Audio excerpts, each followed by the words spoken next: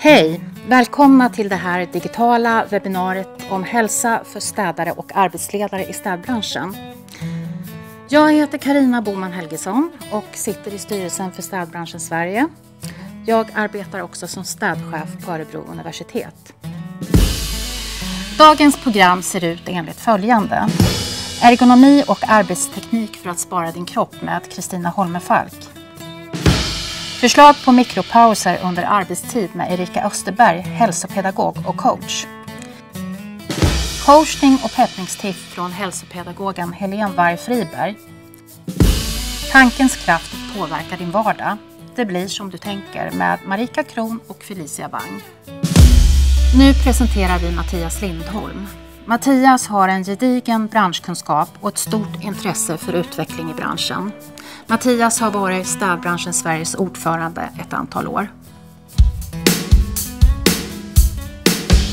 Hej! Det är jag som är ordförande för Städbranschen Sverige, vilket jag har varit ett antal år nu. Eh, och min ambition sedan jag klev på den här rollen har hela tiden varit att jag vill göra ett avtryck och lyfta branschen eh, för att få, den, få upp den på agendan och att vi eh, Eh, branschen ska ses på ett nytt sätt, att det verkligen är ett yrke. För det, det ni gör där ute är så otroligt viktigt. Det märker vi inte minst nu i pandemin, eh, hur viktigt arbetet ni gör är för att stoppa smittspridningen. Eh, det Städbranschen Sverige verkar för är eh, er ytterst som lokalvårdare, har hela tiden er i fokus. Eh, och genom våra olika fokusområden som vi har så jobbar vi hela tiden med att förbättra förutsättningarna och möjligheterna för er att kunna få göra ett bra arbete och kunna leva på er, er sysselsättning hos eh, er arbetsgivare som, som lokalvårdare. Och det här gör vi bland annat genom att påverka upphandlare till att kunna göra rätt bedömningar och rätt utvärderingar och kunna ta rätt beslut när man väljer en aktör. Så att ni får rätt förutsättningar att göra ett bra arbete och de får ett rätt utfört resultat. Eh, vi jobbar även med att ta fram litteratur i olika slag för att stötta er ute i linjen och även era arbetsledande funktioner.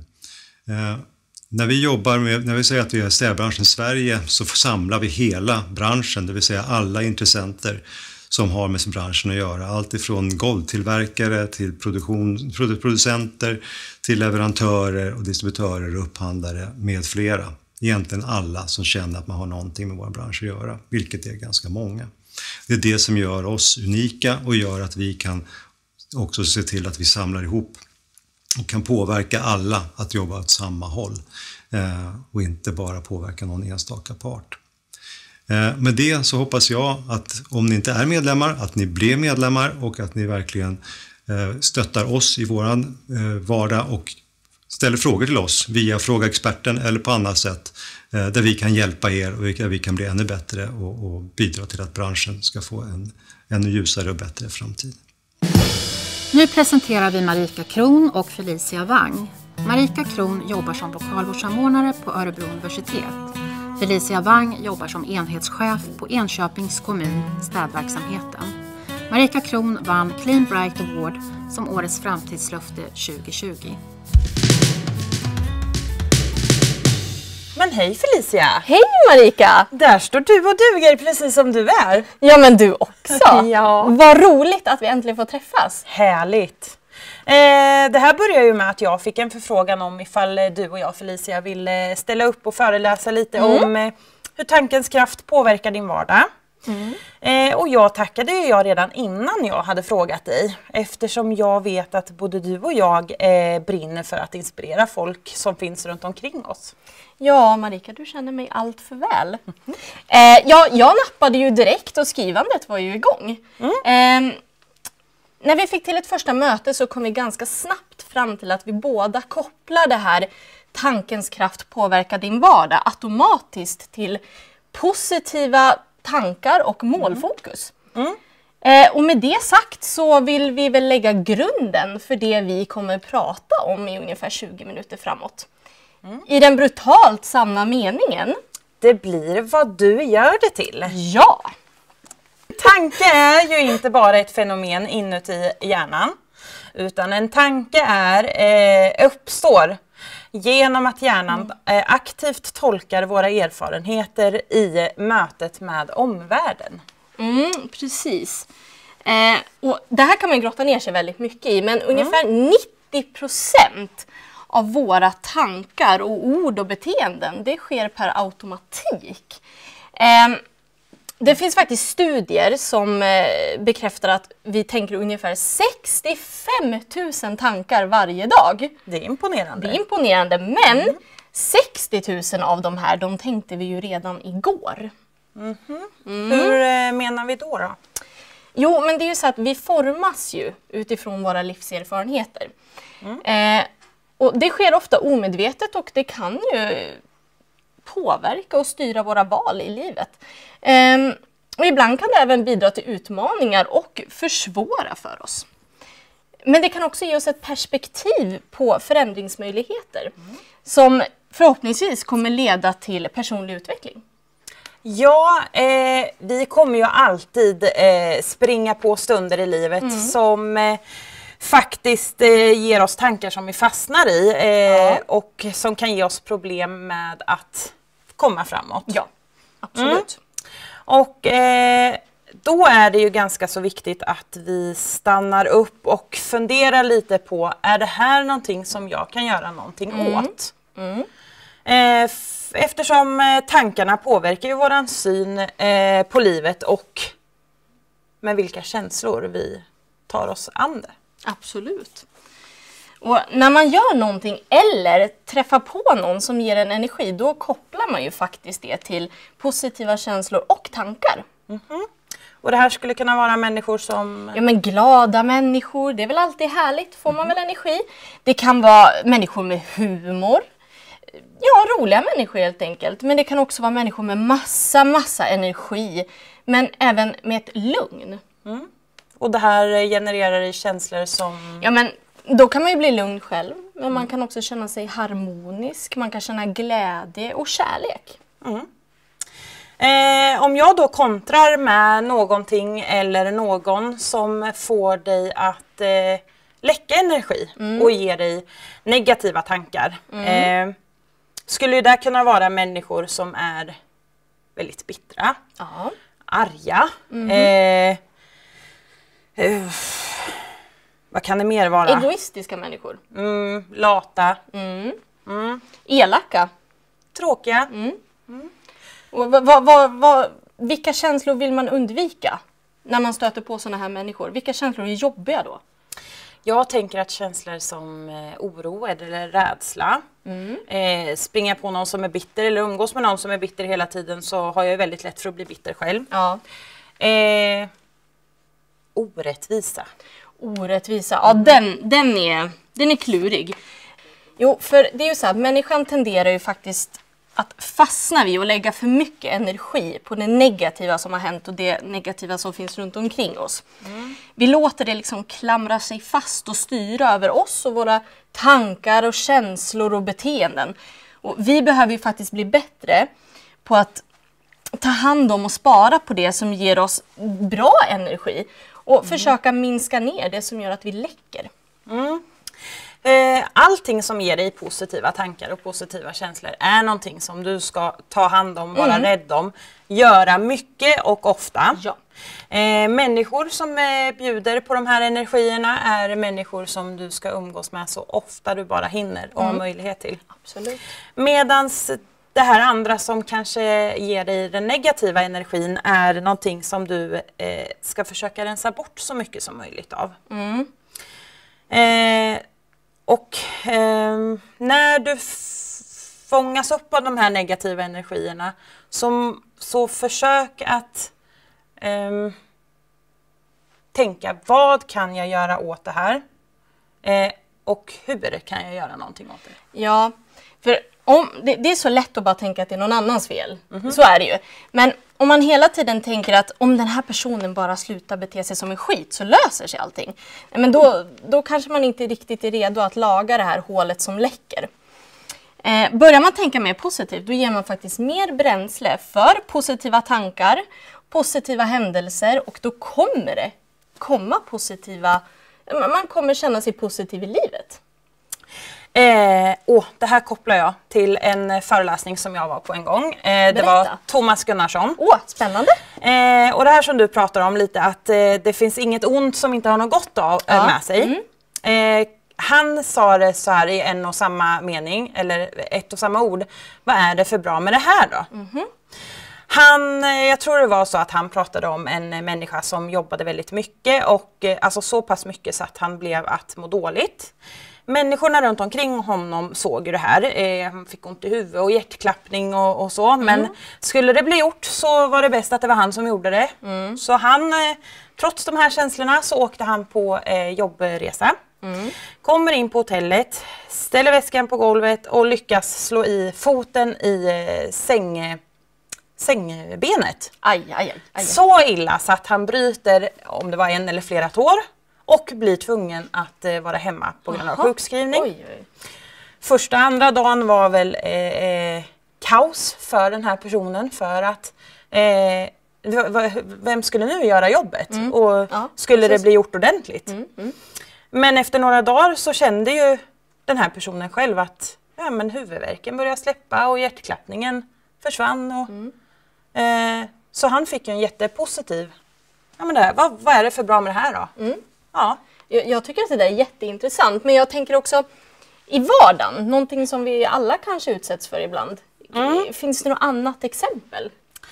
Eh, ja men eh, om du sitter, eh, om du är på väg hem från jobbet, Ja. sitter i bilen och du får eh, röda vågen på Åh, vägen hem. Den, den kan vara jobbig. Eh, där hemma sitter mannen eller kanske barnen och väntar på att eh, du ska ha köpt med dig mellis hem. Eh, kurrar i magen. Ja, bråttom. Mm. Då har jag lärt mig att tänka så här att det här är en stund för mig själv. Ja. Jag eh, kan reflektera över saker som har hänt. Är det en bra låt på radion så vrider jag upp volymen och sjunger med. Har jag någon med mig i bilen så njuter jag av eh, det goda sällskapet. Ja. Istället för att få panik och stress och irritation. Eh, ja, jag skulle vilja säga att det är, det är väl något som de flesta kanske råkar på. Ja, ja, men jag håller med. Och lite där, fokuserar du på andra saker, då, då kommer du få en helt annan, ett helt annat synsätt och en positiv känsla i kroppen. Så är det faktiskt.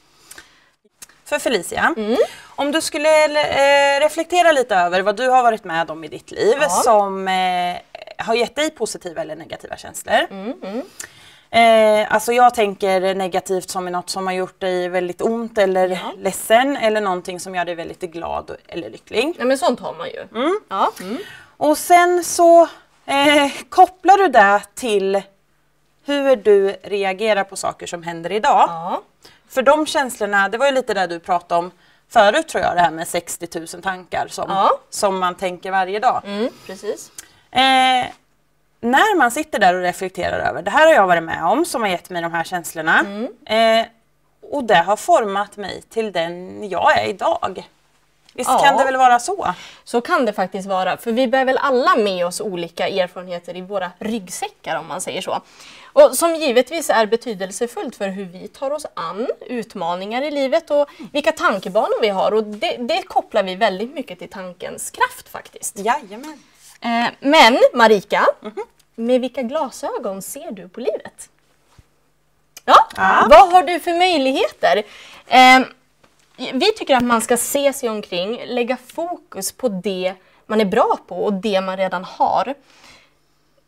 För det är lite så här, glasögonen man ser genom, stärker de dig? Och gör de att du kan vara den bästa versionen av dig själv? Vad tycker du Marika? Ja, eh, det är ju faktiskt här som jag skulle vilja säga att du kan bestämma eh, och ta hjälp av tankens kraft för eh, hur du ser eller hur det påverkar din vardag. Ja, och är det så här att dina glasögon inte fyller någon funktion längre, gå till optiken. Skaffa ett par nya. Mm. Så är det. Men vi vet ju också att verkligheten är ju inte riktigt så enkel Nej, nej, eller men så svart och vit. Ganska mycket gråskalor däremellan. Mm. Och eh, vi vill heller inte eh, förminska de här negativa känslorna som kan Nej, dyka upp inte. ibland. Utan snarare tvärtom, att blir du arg eller irriterad så blir det ordentligt. Eh, men för varje gång så försök att öva på att eh, förmedla de här känslorna på ett konstruktivt sätt. Absolut. Mm. Eh, och det är ju så här, vi vet att det inte är så enkelt att vara konstruktiv. Det är kanske inte så verkligheten ser ut alla gånger, men säger man ingenting, då kommer ju den här personen som du kanske tycker sårar dig, den kommer ju fortsätta göra det och du kommer gå och vara bitter och läcka energi och personer i din omgivning kommer att känna av det. Och till slut så kommer det bara byggas på ännu mer saker. Och på grund av att du inte har någon energi så kommer du inte kunna skaka av dig det lika lätt. Eh, nu när du säger, nu när du tar upp det här, så kom jag faktiskt på en sak till som jag har lärt mig av Thomas Gunnarsson. Åh gud, berätta!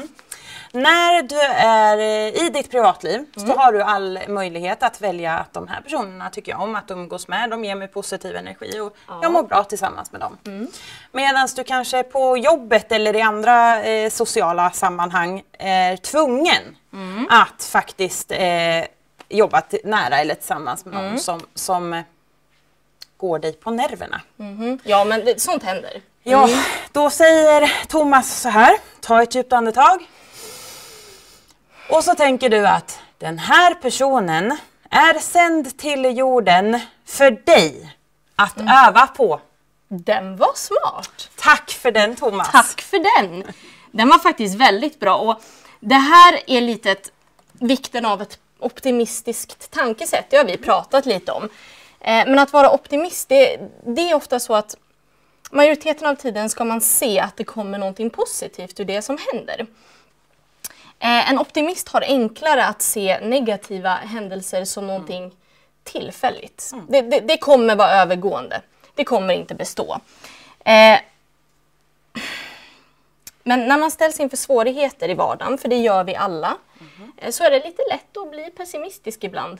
Jag menar, det är ju jag ibland, det är väl du också kan jag tänka mig. Det händer väl. Ja, det händer väl. eh, men det, det är ju så att ingen kan ju slippa smärta, frustration, svårigheter, jobbiga tankar.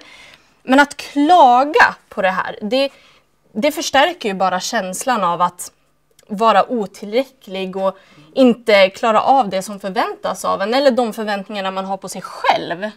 Nej. Ehm, men en, en optimist ser väl den här utmaningen som en möjlighet att göra, växa och förbättra. Ja. Eh, jag, jag jobbar väldigt mycket med den här att om jag, om jag ger någonting eh, utan eh, att förvänta mig någonting tillbaks så är det någonting som, som ger väldigt mycket och bra energi till mig och förhoppningsvis till den personen som jag, som jag ger till. Eh, och om man börjar känna sig lite irriterad så, så där brukar jag försöka le lite extra för att ganska svårt att vara irriterad när man ler. Det är sant. Ja. Och jag tänker faktiskt lite på ett, eh, ett litet citat. Det var Winston Churchill som sa det. Kommer du ihåg vad det var, Marika? En pessimist ser svårigheter i alla möjligheter medan en optimist ser möjligheter i alla svårigheter. Ja. Eh, men eh, vare sig man är pessimist eller optimist så är det ju jätteviktigt att fortfarande vara en realist. Ja, det är det faktiskt. För ehm, man bör ju faktiskt inte sätta orealistiska mål som är helt onåbara, om man säger så. För det finns ju faktiskt onåbara mål. Ja, jag skulle kanske ha lite svårt för att kunna bli kungen. Ja, men jag tänkte så här, Marika, du skulle nog göra ett jättebra jobb som kung. Men det kanske hade varit lite svårigheter på vägen. Ja. Eller hur? Ehm, men det är väldigt stor skillnad att sätta höga mål och sätta omöjliga mål. För omöjliga mål, det kommer ju bara bidra till frustrationer. Eh, men man måste ju också förstå att på vägen så kommer fel och svårigheter förekomma. Men har man ett optimistiskt tankesätt så har man en förmåga att se att inga framgångar eller stora prestationer har, har man kommit fram till genom ja, men, helt smärtfritt utan det kommer vara misstag på vägen som man kommer få lära sig av. Men genom att rätta till de här misstagen så ger man sig möjligheter att lyckas. Mm. Men genom att rätta till misstagen så ger man sig en möjlighet att växa och lyckas. Eh, för det är ju ingen annan än du som eh, vet vart du vill eller eh, kan ta dig till ditt mål. Det kommer finnas folk runt omkring dig som eh, kan peppa dig och visa vägen och hjälpa dig. Men det är du som måste göra jobbet. Eh, ibland så finns det bara man öppnar en dörr så finns det där inne. En möjlighet, ja. Ibland så kanske man behöver jobba en, en eh, längre stund för att nå dit man vill. Ibland måste man jobba väldigt hårt. Eh, och hur länge och hur hårt som man ska jobba eh, beror ju på vad du får ut av det när du kommer fram. Vad målet Precis. är värt för dig. Eh, och när du springer emot vind så är det viktigt att du påminner dig själv om varför, varför du ville till målet ifrån början. Ja, så är det ju faktiskt. Eh, det är väldigt bra sagt. Jag tycker du satt huvudet på spiken där lite grann Marika. Ja.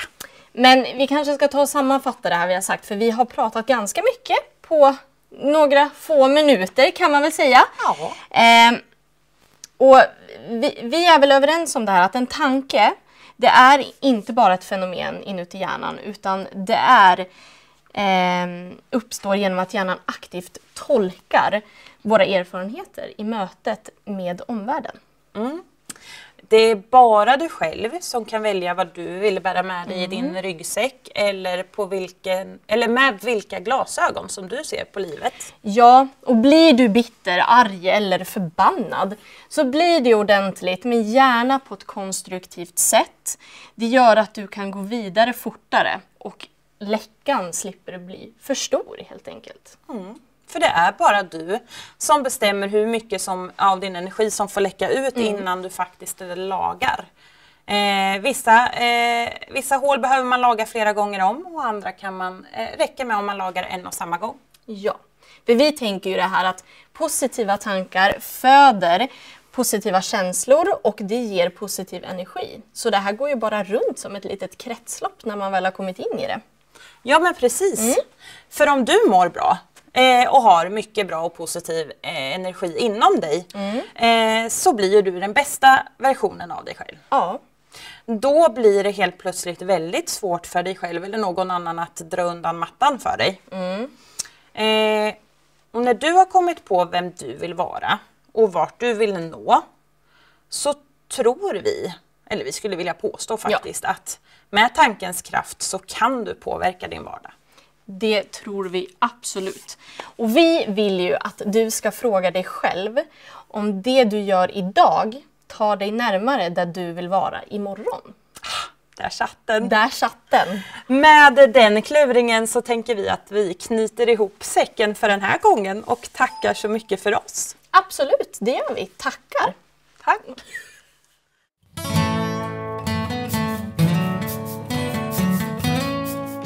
Nu presenterar vi Helene Varg Friberg. Helene har jobbat i branschen i många år. Hon är utbildad SRY-handledare och hon är också utbildad hälsopedagog. Hej Helene! Hej! Vem är Helene Varg Friberg egentligen? Ja, det är ju jag. Ja. Mm, det är jag. Eh, jag är eh, lokalvårdare i grunden och eh, har jobbat som arbetsledare. Jag har jobbat med utbildning inom SRY bland annat. Eh, och jag har också jobbat med, som hälsopedagog på ett eh, stort lokalvårdsföretag i Örebro. Vad Mm. gör egentligen en hälsopedagog? Ja, vad gör en hälsopedagog? Eh, ja, vi eh, talar ju inte om för människor att nu måste du träna och käka morötter. För det är ju inte det som är grunden till att man mår bra. Eh, utan eh, ja, vi försöker att, att hitta eh, lösningar egentligen tillsammans med personer.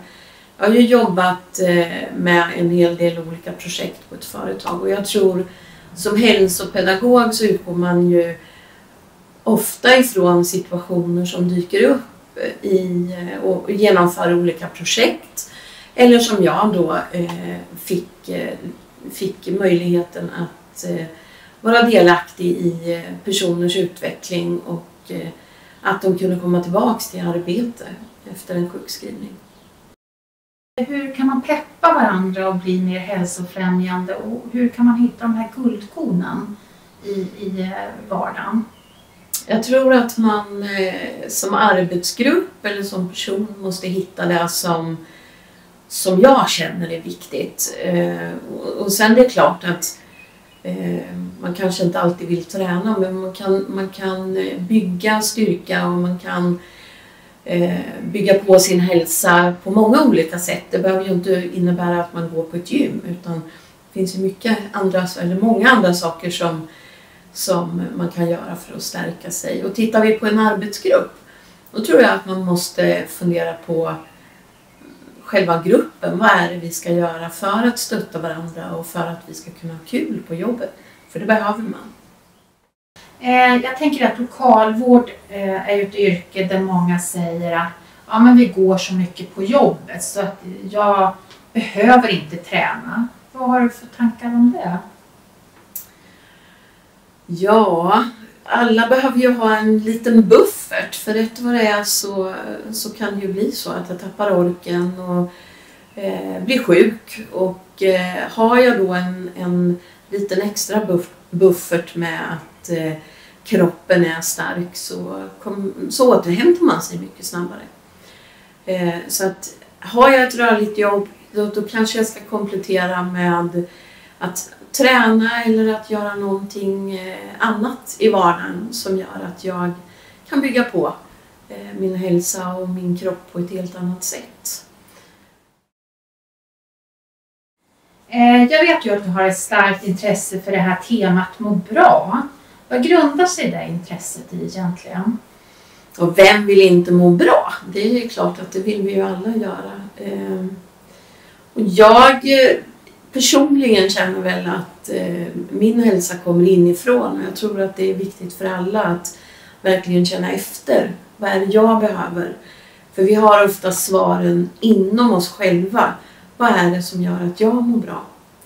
Eh, många gånger så tänker man ju att ja men nu nu ska jag börja träna och jag ska eh, äta nyttigt och, och, och så bygger man på en massa förväntningar på sig själv som man egentligen inte känner att man har lust eller tid med. Så att eh, försöka hitta eh, vad jag själv mår bra utav och bli medveten om det. När vi pratar om det här att peppa varandra i en arbetsgrupp så kan vi ju titta både på det vi kan göra som, som gäller själva arbetet men också de här må bra-aktiviteterna med pausgympa till exempel som ni har möjlighet att göra både på arbetet men faktiskt också kunna använda på fritiden. Det här med tävlingar brukar uppskattas och det behöver inte vara så avancerat. Det här att eh, ha promenad och träningstävlingar, eh, att också skapa tävlingar när det gäller eh, olika städmoment eller eh, att vi använder oss av eh, något utbildningsmaterial och har tävlingar utifrån det. Fika. Fika är alltid trevligt och eh, ett bra tillfälle just för att lära känna varandra och eh, skratta och må bra. Skratta är aldrig fel. Det, man säger att det är som ett inre jogging och eh, så kom ihåg, skratta mycket på arbetet.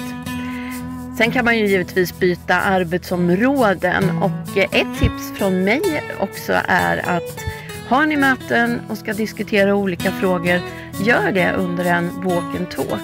Klä på er, promenera tillsammans och se till att ni får inspiration även utifrån just för att kunna ta bra beslut eller kunna vara kreativa i era tankesätt. När vi pratar om träning för min egen del så har jag ju nu ett arbete där jag är inne väldigt mycket. Och eh, då vill jag använda min fritid till att vara ute och njuta utav naturen. Så att eh, jag kan säga nästan att jag har naturen och miljön runt omkring mig som jag har hemma som min träningslokal. Vi eh, har faktiskt ett gym precis runt husknuten så där har jag möjlighet att träna styrka för hela kroppen. Men jag har också backar som gör att jag kan träna kondition. Eh, lägger till armarna när jag promenerar upp för en backe och hjärtat får slå lite extra. Eh, ökar ju pulsen och det bygger ju på konditionen. Jag försöker också att eh, använda stockar och stenar för att träna balans. Balans är ju alltid bra att träna för det är ju ingenting vi brukar göra i vardagen annars. Sen eh, är ju naturen också en naturlig plats för mig i varje fall att eh, få återhämtning och vila mentalt. För eh, skogens tysthet och fågelkvitter och vatten som bålar ger mig ett lugn och efter en stressig dag så känner jag att det är en miljö som, som ger mig kraft och återhämtning. Eh, vad kan man göra för att peppa varandra? En del är ju mer eh, benägna att eh, röra på sig, Mm. andra är mindre benägna. Hur kan man peppa varandra i en städverksamhet? Ja, men eh, byta plats med varandra eller jobba tillsammans.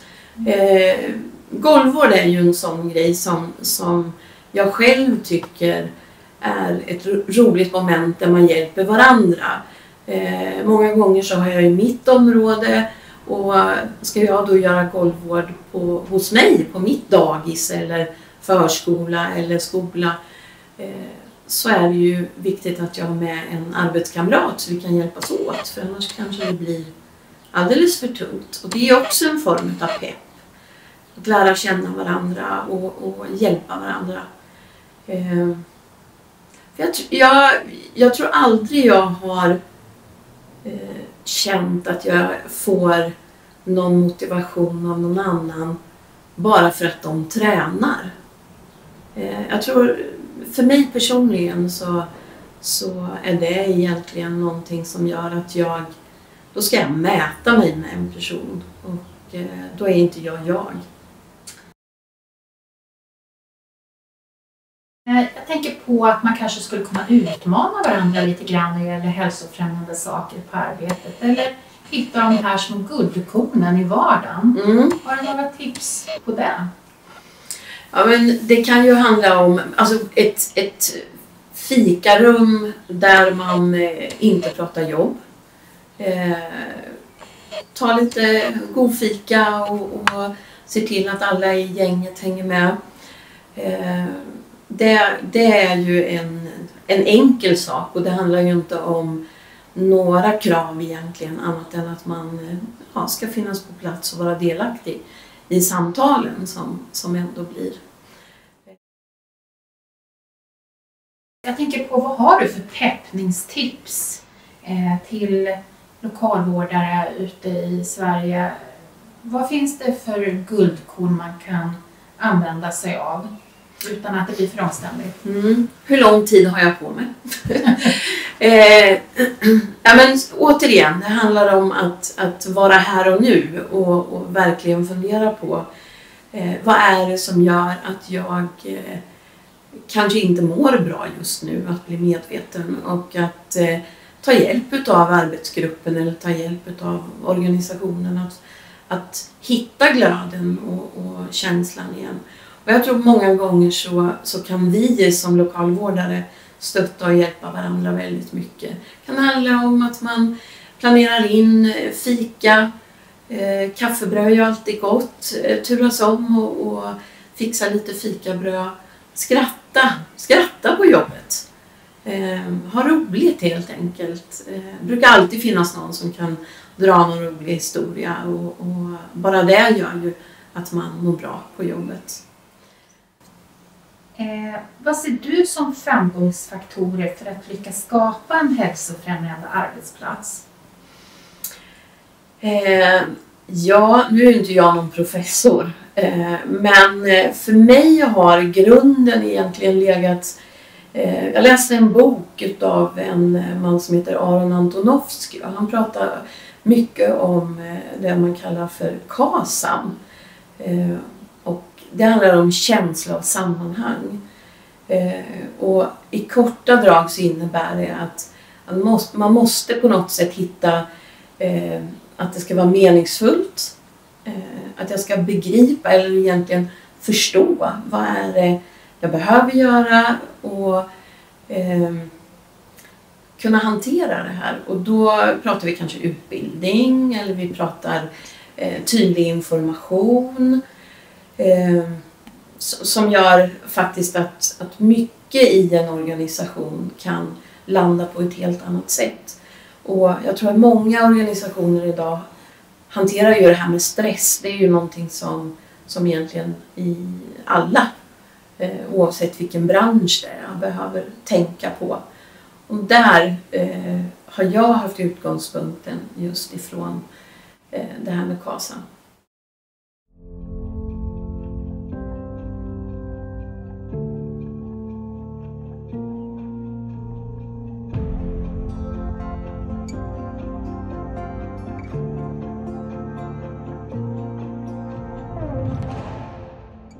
Hej och välkomna till vårt Orbotech Center här i Sundsvall. Anton Johansson heter jag och jobbar som operativ chef här på Orbotech. Under de senaste åren har vi jobbat aktivt med att utmana städbranschens traditionella normer och istället försöka tänka nytt genom vårt koncept The Orbotech Way of Cleaning.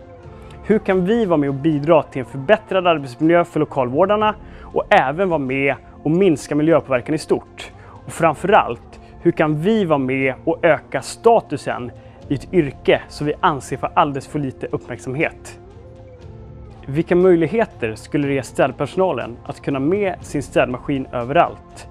Dessutom en maskin som är renare än traditionella maskiner och även är flexibel så att du har möjlighet att maskinstäda fler ytor. Tänk att genom regelbunden maskinkärning kunna uppgradera golven till en så hög nivå så att vi kan förlänga frekvenserna för periodiskt underhåll. Tänk att istället för rengöringskemikalier städa kemikaliefritt med ultrarent vatten som effektivt löser upp smutsen och till skillnad från de flesta traditionella kemikalierna inte lämnar några restprodukter efter sig. Samtidigt är detta ultrarena vatten så skonsamt att det till och med går att dricka. I takt med att hygienkraven ökar och behovet av desinfektion tilltar så är det idag möjligt att desinficera ytor med ett ozonförstärkt kranvatten vad skulle kemikaliefri städning ge för möjligheter dels för branschen men även samhället i stort? Föreställ er att ha ett hjälpmedel som i samarbete med personalen automatiserar de tunga monotona arbetsuppgifterna som dammsugning. På så sätt kommer belastningsskadorna inom personalen att minska och tid till viktigare uppgifter kommer att frigöras. Förutom en högre kontinuitet och ökad städkvalitet får städledningen också rapporter i realtid på vilka ytor som har städats, när på dygnet och även om eventuella fel stöts på. Hur tror ni att denna lösning skulle förbättra arbetsmiljön och även höja statusen inom yrket? Har ni nu blivit inspirerade och vill veta mer om framtidens lokalvård och även Orbotech Way of Cleaning så är ni varmt välkomna att besöka våra showroom i Sundsvall, Gävle, Stockholm, Jönköping och Malmö.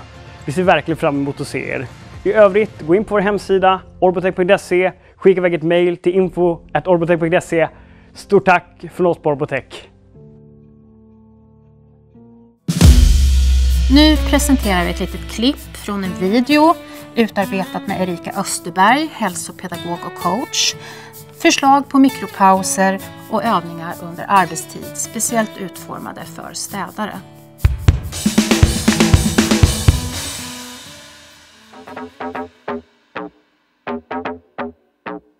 Mitt namn är Erika Österberg och jag är utbildad hälsopedagog vid Gymnastik och idrottshögskolan. Och just nu arbetar jag som hälsocoach och personlig tränare. Fysisk aktivitet ger stora hälsofördelar och är viktigt för personer med fysiskt arbete. Att träna sina muskler utöver sitt aktiva arbete minskar risken för förslitningsskador som kan orsakas av arbetet. Dessutom är rörelse i olika former en härlig kick för vårt mentala mående då fysisk aktivitet motverkar bland annat stress och ger oss mer energi i vardagen. Step up med knälyft.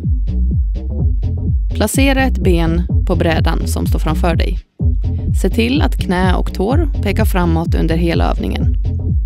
Lägg vikten på det främre benet och pressa dig upp till rakt ben. När du pressat dig upp kan du lyfta det andra benet med böjt knä för att öva balans.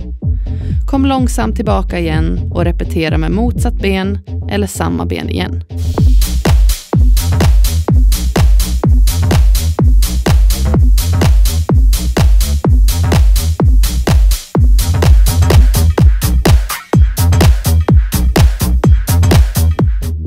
Sidoböj med skaft.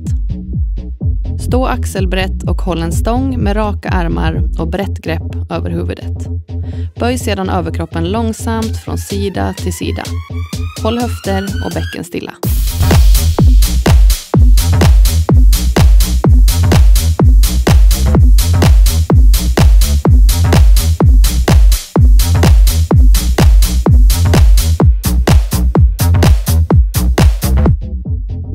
Fall bakåt. Stå höftbrett och ta sedan ett stort kliv bakåt med ena benet. Sjunk rakt ner så du får cirka 90 grader i varje knäled. Skjut upp till raka ben och kliv ihop till höftbrett igen.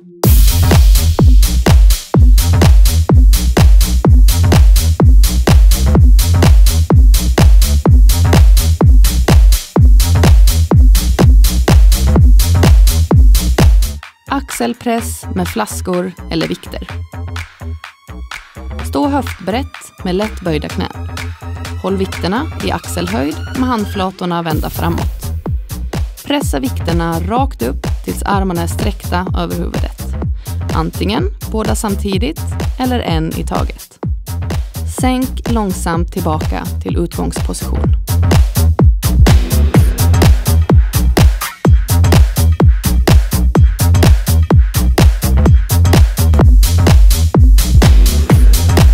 Rörlighet för axlar och baksida lår. Ställ dig höftbrett. Ryggen är rak och kroppsvikten är på hälen när du för höfterna bakåt och fäller överkroppen framåt. Håll en trasa eller städskaft med båda händerna rakt ner mot golvet. Lyft sedan armarna upp mot öronen och sänk sedan långsamt armarna tillbaka rakt ner igen.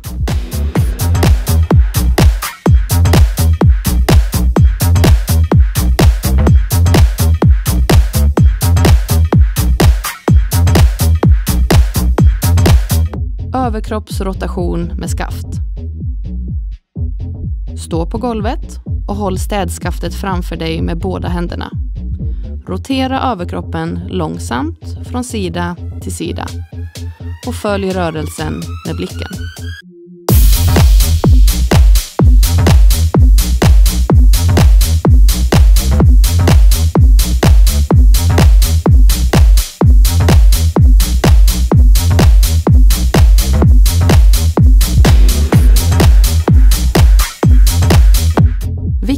Är att upprepa varje rörelse 10 till 15 gånger och att du gör något varje timme eller ett par gånger om dagen.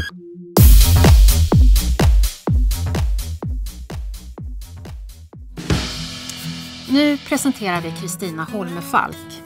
Kristina sitter i styrelsen för Städbranschen Sverige. Hon är ledamot över fokusområde mötesplatser. Kristina har jobbat i branschen i över 35 år. Hon driver sitt eget företag, Kristina Holmefalk städutbildningar. Ja, hej på er! Jag ska prata om ergonomi och arbetsteknik som under årens lopp har legat mig mycket varmt om hjärtat. Framförallt för att förebygga belastningsskador för städare och all personal som jobbar inom städbranschen.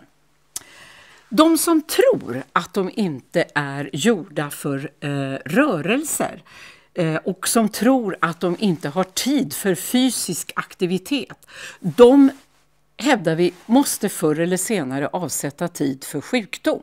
Det kanske låter lite drastiskt, men så är det faktiskt. Att röra på sig även under sitt arbete och under arbetstiden är väldigt viktigt. Vi är gjorda för rörelser.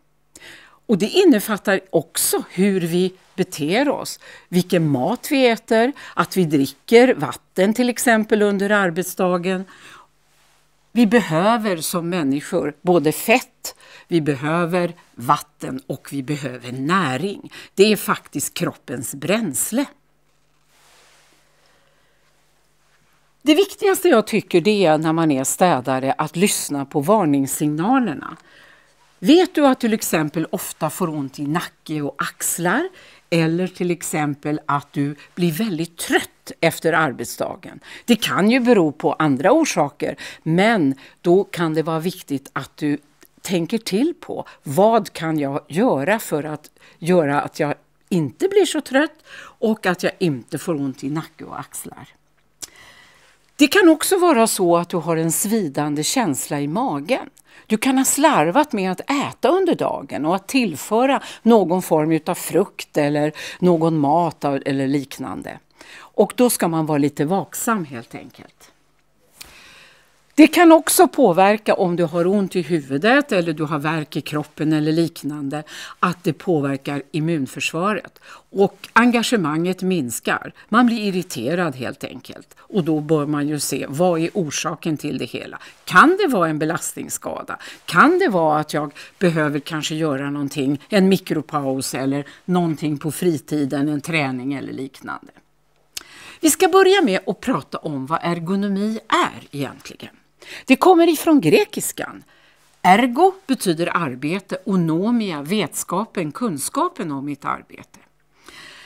Man kan säga så här att ergonomi är inte bara att tänka på vilka rörelser du gör utan det handlar också om ett sätt att organisera och planera ditt arbete. Jag brukar säga så här att det är läran och människan i arbetet. Samspelet mellan människan och de arbetsredskap vi använder. Hela livsföringen påverkar också faktiskt hur du arbetar och eh, det gör ju att förutsättningarna blir bättre för att minska belastningsskador. Ur arbetsmiljösammanhang så är begreppet ergonomi väldigt viktigt. Du ska tänka på hur arbetet organiseras och hur du planerar ditt arbete. Hur du använder dina redskap. Att också ha kännedom om hur manuella metoder fungerar, hur maskiner eh, fungerar, det är väldigt viktigt. Då skapar vi en arbetsglädje och en trygghet som vi håller vid liv under hela arbetsdagen. Det har också ett väldigt starkt stöd i arbetsmiljölagen. Arbetsgivaren har faktiskt ansvar för att maskiner, att redskap och de metoder du använder eh, fungerar på ett säkert sätt. Ditt ansvar det är ju naturligtvis att underhålla, göra rent och sköta maskinerna och redskapen på ett bra sätt. Men eh, i själva lagstiftningen så är det faktiskt arbetsgivarens ansvar att maskiner, redskap och de villkor som individen jobbar under är eh, säkra helt enkelt. Och vi är skyldiga som arbetsgivare att följa de här bestämmelserna att arbetet kan utföras på ett säkert sätt. Den psykosociala arbetsmiljön är lite skillnad mot den fysiska. Den fysiska, det kan du själv påverka som städare. Hur du håller i skaftet, hur du använder dina moppar och teknikerna i samband med det, hur du kör maskiner etc. Hur du ställer in ditt skaft, vilken höjd och så vidare. Men den psykosociala, den kan vi kanske inte påverka direkt. Då kanske du måste ha hjälp. Vad är den psykosociala? Ja, det är ju stress och stresshantering. Du kanske inte planerat ditt arbete ordentligt och du skapar en stress i sig. Det är någonting du ska ta upp med din arbetsgivare och självklart berätta om de här sakerna och få hjälp. För där är arbetsgivaren skyldig att hjälpa dig. Den fysiska stressen, det är en helt annan sak. Där kan vi alltså själva påverka det hela som städare. Och det är den fysiska stressen vi utsätter våra muskler eh, till. Det kan också vara så här att man upplever för stora krav. att man har för få utmaningar. Det handlar då om den psykiska stressen, eller den psykosociala. Då ska man också ta upp det med sin arbetsgivare. Men den fysiska arbetssituationen, den kan du själv som städare påverka och det ska vi hjälpa dig med. Det kan också vara så att du behöver ha bättre rutiner hur städning ska organiseras, speciellt vid sjukfrånvaro. Då kan det uppstå, du måste vara vikarie, du måste göra mera saker. Och då gäller det ju att man har koll på sitt städschema, sin städinstruktion etc. och få hjälp med av arbetsgivaren. Det var en läkare som sa till mig också, när man har en fysisk påverkan, om man kanske har ont i någon muskel eller någon arm eller och så vidare. För de vanligaste orsakerna till att vi får belastningsskador, det är handleder som belastas felaktigt genom vridmoment vid moppning. Det är tennisarmbåge också när du kör de här vridningarna. Och det kan vara nacke, du tittar ner på det du ska göra istället för att gå med rak rygg. Och du använder inte benen utan du använder armarna för mycket. Vi har ju faktiskt en styrka i benen. Vi kan göra utfall och vi kan göra de rörelserna. Men en läkare han sa till mig, vila dig i form, sa han. Vet ni om att det tar fyra timmar innan muskulaturen går ner i vila efter fysiskt arbete? Och då måste vi ju tänka, ska vi gå och lägga oss i sängen och sova? Ja visst får man göra det, det är inga problem. Men du kan också vila dig i form genom att du har en hobby. Jag menar, jag stickar, jag spelar golf, men det är inte alla som kan. Men du kan cykla, du kan leka med barnen. Det är också någon annan sak. Läsa en bok, gå ner i varv med musik och så vidare. Det är viktigt när du kommer hem efter arbetsdagen att du gör någonting som gör att muskulaturen går ner i vila. Arbetsmiljöverket har i sin författningssamling kontrollerat alla människor som har besvär. Och framförallt inom städyrket så har vi ju en väldigt hög, högt antal belastningsskador. Man kan säga så här att besvär eller skador i muskler, senor och leder, det är orsaken att människor ofta är borta från arbetet. Över 70 procent av alla anmälda arbetssjukdomar och över 20 procent av arbetsolycksfallen beror idag på belastningsskador. Kanske inte alla av dem inom städyrket, men inom, om man säger, där man har ett fysiskt arbete. Och det här är ju väldigt viktigt att städorganisationen förstår och tar hand om. Jag brukar säga så här, vad är det som belastas till exempel i våran ryggrad? Hur ser den ut? Ja, det är ju ett antal koter vi har.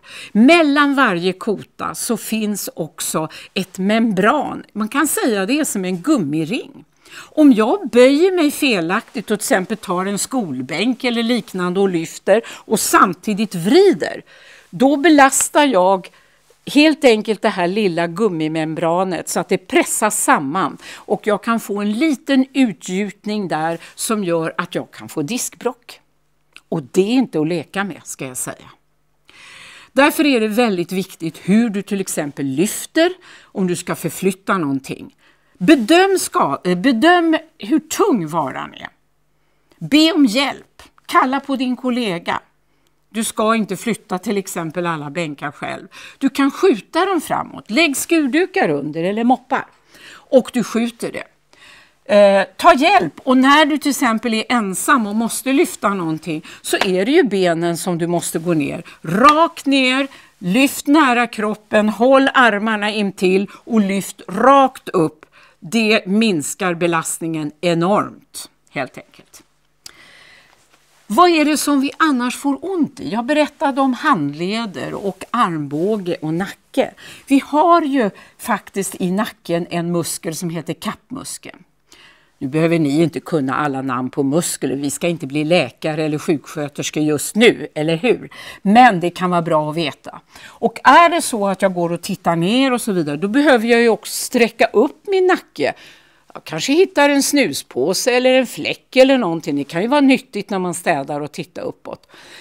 Att man sträcker upp sig och tänker här kommer jag, jag går med rak rygg, jag är viktig i den här organisationen. Så att man liksom inte går och kryper ihop och så vidare. Den här askel, axelmuskeln är också viktig. Den kallas för deltamuskeln. Och när du gör den här vridrörelsen som många tyvärr gör lite för ofta istället för att skjuta eh, moppen framför sig om vi nu jobbar med manuell städning så är det viktigt att tänka på de rörelserna, att inte vrida för mycket. Någonting annat är när du håller väldigt hårt om ditt skaft, du greppar, då blir det ju som vi säger en statisk spänning. Jag ska strax berätta om det. Men håller du så här och inte byter grepp, då också belastar du ju handleder men också fingrar och eh, handens och fingrarnas sträckmuskler. Ryggraden likadant här, du kan få ont här. Varför? Jo, för du gör den här vridrörelsen. Och där har vi ju, musklerna fungerar ju så, det finns raka och det finns tvärstrimmiga helt enkelt. Så det är viktigt ändå att känna till lite grann om kroppens funktioner. Och jag kan väl säga så här att skelettet, det bärs ju upp av våra muskler. Och bygger vi inte upp dem på ett bra sätt och stärker det genom kanske lite fysisk träning så blir vi när vi blir äldre också lite hopkrupna och så vidare. Det är viktigt att vi förebygger det hela. Vad är då en statisk belastning? Ja, det är så här, muskeln belastas utan rörelse under en längre tid. Man kan jämföra det med en målares yrke. Han som målar tak, vad tror ni det här är? Och så vidare. Han får ont i nacken. Han måste ju naturligtvis sträcka ner och eh, förändrar och växla. Blodtillförseln uteblir på grund utav att blodkärlen pressas samman och förbränningen fortsätter utan syre. För våra muskler behöver syre och kommer blodet inte och cirkulerar i muskeln då blir det syrefattigt och då blir vi trötta. Och vad bildas då? Jo, mjölksyra naturligtvis. Och vi känner att vi måste skaka loss. Det är ungefär som på vintern du står på, inte här kanske på alla ställen, men en sparkstötting. Vad är det vi har statisk spänning i? Jo, benet som vi står på. Det vi rör, där blir det ett dynamiskt arbete. Blodet cirkulerar genom muskeln och det pumpar fram och jag blir inte lika trött. Man kan säga att mjölksyran förgiftar muskeln och medför smärta. Och upprepar vi de här statiska belastningarna då leder det till värk och smärtstillestånd och i värsta fall kan vi få en inflammation i muskulaturen och då måste vi vila. Det är ingen idé att tänka så här som några gör. Ja, jag har ont när jag städar men jag vilar när jag kommer hem. Men om man varje dag upprepar samma ensidiga rörelser då kommer man ju få en inflammation och det tar ett par veckor. Och då måste vi tala med vår arbetsgivare, kanske det är ett metodfel, ett handhavande fel eller att jag har för hög belastning, för stora ytor och så vidare. Så att man då får möjligheter att eh, utvärdera vad är felet, men också ta hand om det på rätt sätt. Det vi ska sträva efter det är en dynamisk belastning. Och det gör vi genom att vi växlar grepp när vi håller i skaftet. Jag brukar säga så här, skulle jag få varenda städare i Sverige att växla grepp när de till exempel skjuter moppen framåt och vänder, då har vi vunnit mycket. Man kan tycka att det är bagateller, men det är det inte. Därför att om vi skulle titta oss själva i spegeln så ser vi skulderbladen och att det ändrar sig. Jag brukar ju alltid ta upp min mamma som städade många, många år. Hon blev 95, hon älskade skolan och städa där. Men hon var sned så här. Och tittar vi på många städare idag så är man när man ser att axelpartiet är snett. Och vad beror det på? Jo, man använder ju hela tiden samma sida. Man är högerhänt eller vänsterhänt. Men om de kunde växla grepp så skulle vi vinna mycket. Det som sker vid dynamiskt arbete det är att muskelarbetet får rörelse på rätt sätt. Använda benen, använda utfallet, växla grepp och byta handfattning som sagt. Då kommer blodet skölja genom muskulaturen och vi blir inte lika trötta. Blodet tillför syre och muskeln spolar bort trötthetskänslan. Det är väl härligt? Vad är det vi kan göra under arbetets gång? Jo, det är att ta enkla mikropauser. Då säger någon, det har inte jag tid med. Ja, men vad är en mikropaus? 15-20 sekunder max, det har vi tid med. Verkligen. Och jag brukar säga varje timme skulle man behöva göra egentligen någon form av mikropaus. Det som sker då är att då slappnar muskulaturen av och blodcirkulationen ökar och lederna smörjs upp. Du blir inte lika trött. Bara genom till exempel att lyfta axlarna ett par gånger bakåt så känner man riktigt hur det kryper i axelpartiet. För då börjar blodet att strömma genom muskulaturen och det känns mycket lättare. Jag hade en flicka, jag var på en utbildning eh, på ett ställe och jag sa försök att göra så här. Lyft ett par gånger bakåt och ett par gånger framåt. Hon kunde inte, hon började storgråta. Hon hade sån verk i axlarna och jag sa till henne nästa gång jag kommer om två månader då vill jag att du har tagit kontakt med din eventuella företagshälsovård och att du har tränat. Och när jag kom tillbaka, Kristina sa hon, jag är så glad, jag känner mig mycket bättre nu. Och hon kunde göra, för hon började göra mikropauser ofta. Det, mikropauserna skapar ju en väldigt stor hälsofördel. Fysisk aktivitet ger ju de här hälsofördelarna och det är viktigt för personer som har fysiskt arbete. Och jag brukar säga att träna sina muskler, ju äldre man blir så är det naturligtvis viktigt, men det är lika viktigt för ungdomarna att redan i tid börja träna sina muskler. Och då minskar ju risken när vi har det här aktiva arbetet att få förslitningsskador, belastningsskador. Och sen rörelse i olika former. Många tror ju att man alltid måste gå på gym för att göra saker. Men det har vi ju märkt, speciellt under dessa tider med pandemi. För det måste jag ändå nämna, att många har ju börjat träna hemma. Och man kan faktiskt utmärkt med en video eller via tv eller så vidare göra aktiviteter. Och det motverkar stress och det ger oss energi i vardagen. Vi har faktiskt tagit fram i städbranschen Sverige tillsammans då med Erika Österberg som är hälsopedagog och coach, träningscoach, en eh, träningsposter med ett antal viktiga rörelser. Och eh, det är tips på enkla rörelser i, som då du kan göra på arbetet men också sen fortsätta med hemma. Och det är typ enkla mikropauser. Ja, till den här träningsposten så eh, tillhör också, men man kan ju köpa den separat om det skulle vara, men en video som vi tyckte var väldigt viktig. Och på den så får du vägledning och coachning utav Erika Österberg som är då hälsopedagog. Så vi hoppas verkligen att den ska bli ett stort intresse för städarna i Sverige.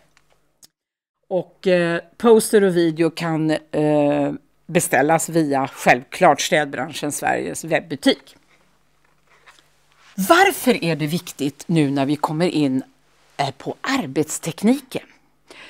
Att lära sig vad god arbetsteknik är.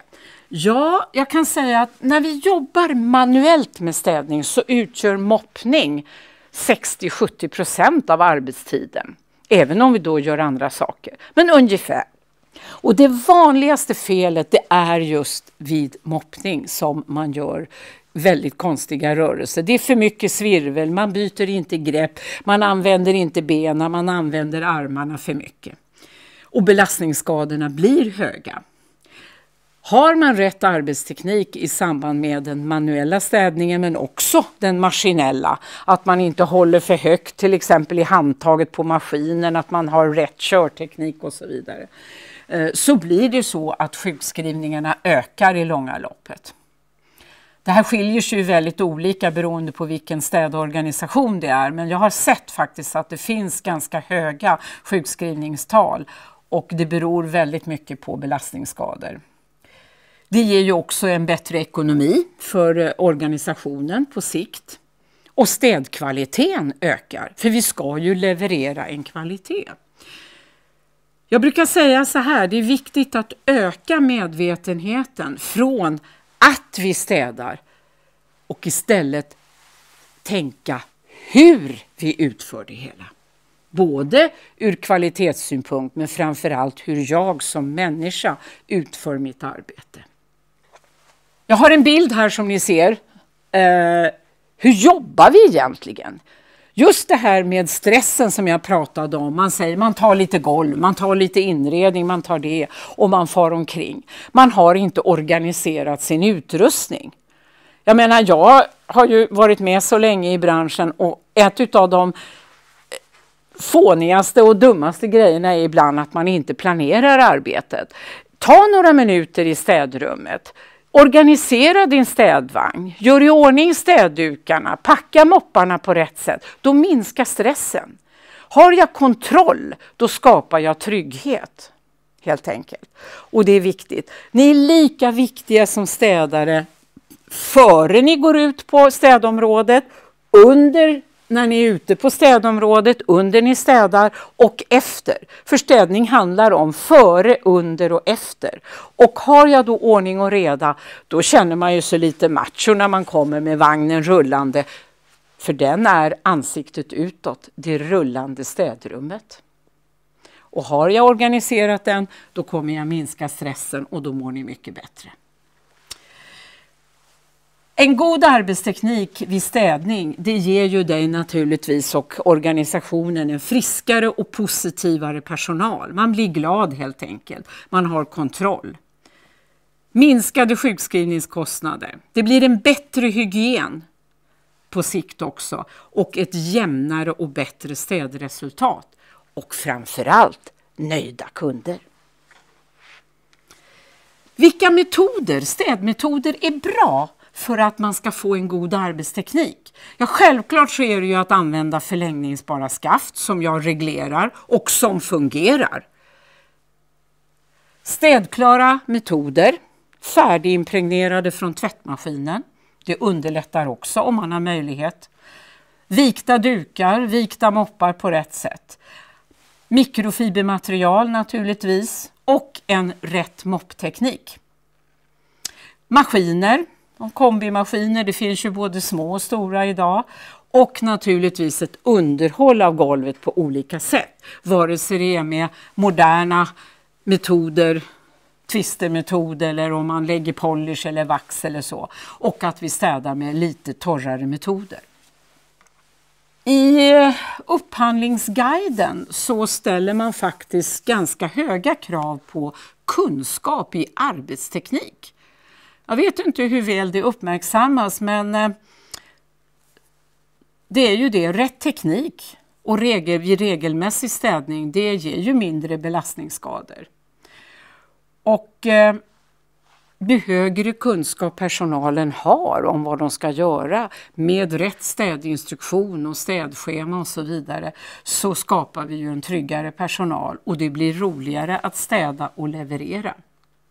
Ja, vi kan ju ställa oss då, vad är då bra arbetsteknik i vardagen? Jag nämnde ju tidigare om att det var viktigt att tänka att jag är lika viktig som städare före, under och efter jag är eh, ute på området och i mitt städrum. Så börja i städrummet och ställ krav på detsamma. Det är ditt ansvar som städare att organisera och hålla ordning där, för då minskar vi också stressen och förhindrar att man kanske får ont i huvudet eller liknande. Bättre arbetsmiljö och städvänligare lokaler, det hade vi väl alla önskat som jobbar i denna branschen. Ett samarbete mellan inredningsarkitekter och de som projekterar våra arbetsplatser. Det är inte alltid så lätt om det är en äldre byggnad. Det kanske finns eh, eh mycket trappor eller att det är trångt och eländigt och att städrummet ligger nere i källaren. Det kanske vi inte alltid kan påverka men vi kan i alla fall göra det bättre. Det är städaren som, är, som dirigerar det hela helt enkelt, hur du ska organisera ditt arbete. Jag har ju nämnt tidigare, viktigt att växla grepp, byta hand, ställa in skaftet och så vidare. Att man tänker på det helt enkelt och att arbeta med kraftöverföring. Vad är det för metoder som är vanligast? Ja, det finns ju en hel del eh, utbildning hur man ska moppa till exempel. Men om du använder skjutmetoden vid alla fria ytor. Du kan pusha moppen framåt, du kan vända och byta grepp. Svirvelmetod, då använder du benen helt enkelt. Du belastar från höger till vänster eller vänster till höger. Vrider inte med handlederna. Och så finns det då sopmetod där du kanske slappnar av i armen och går framåt. Och sen skrapmetod där du kan få bort grus och sand i en entré och så vidare. Självklart också med hjälp av andra eh, redskap, till exempel också maskiner. Eh, det här finns det filmer om, hur vi ska helt enkelt moppa. Hur ska vi nå fram? För att börja sammanfatta lite grann om det jag har sagt. Ja, arbetsmiljön måste förbättras. Städvänligare lokaler, vem önskar inte det? Det krävs som jag nämnde tidigare ett samarbete med arkitekter och projekterare. Eh, hur städrummen är utformade och att också beställarkompetensen stärks väsentligt. Tydligare avtal. Jag är till exempel inte vän av luddiga avtal där det inte står eh, vad vi ska göra och vad som förväntas helt enkelt. Vi överstädar faktiskt på många ställen också och det är för att det är väldigt otydligt många gånger vad det är som förväntas av oss. Vad är det som ingår och vad ingår inte? Krav på utbildning och uppföljning av eh, utbildningen är också viktigt. I eh, väldigt många upphandlingar så står det att personal ska ha en adekvat yrkesutbildning. Ja, men det är väldigt sällan det följs upp också utav upphandlarna. Tydliga arbetsinstruktioner och uppdaterade. Vi har ju sett bara nu i pandemitider att man behöver förändra arbetsinstruktionerna. Man måste fokusera mera på personnära ytor och hur man ska göra och det kan också skapa en del belastningsskador. Arbetsledarrollen måste stärkas och ha flera utbildningar för, för att kunna vägleda sin personal på rätt sätt. En möjlighet är ju faktiskt att skapa en karriärstege för städarna idag och det är att utse några arbetsteknikombud. Och då säkerställer man att eh, personalen har fått en arbetsteknik och kunskap om ergonomi och hur de ska arbeta på ett bra sätt.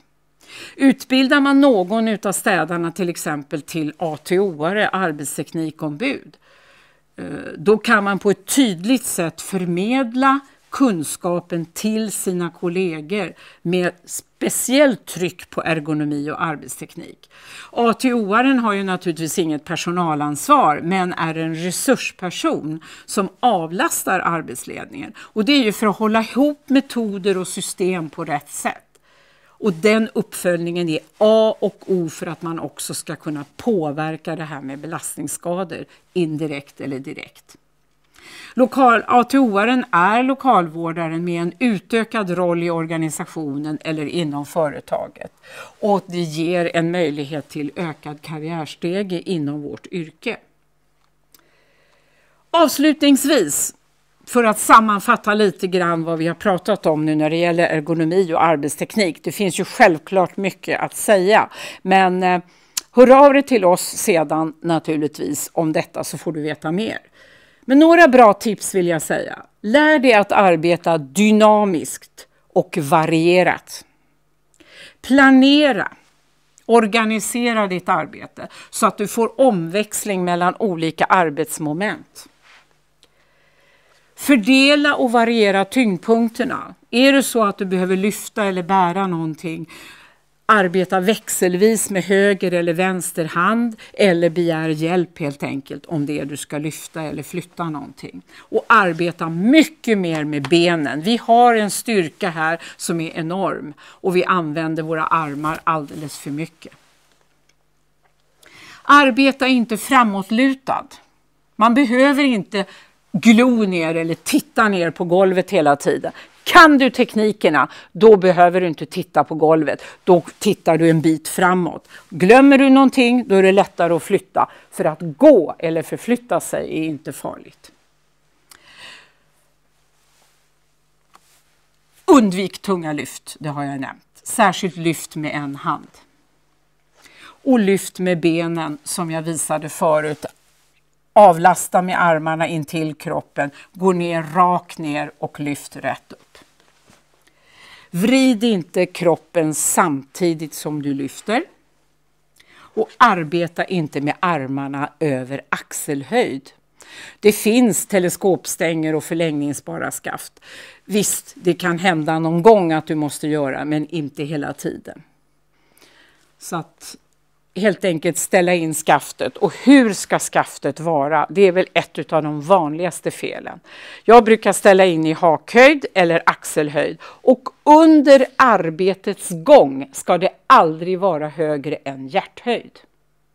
Vare sig du skjuter eller moppar, svirvlar. Ta mikropauser ofta, helst en gång i timmen. Och en sak vill jag avsluta med. Tänk på dig själv. Det är du som är viktig och som levererar resultatet. Arbeta så ergonomiskt rätt som du kan. Då spar du kroppen och du levererar ett bra, ett bra städresultat.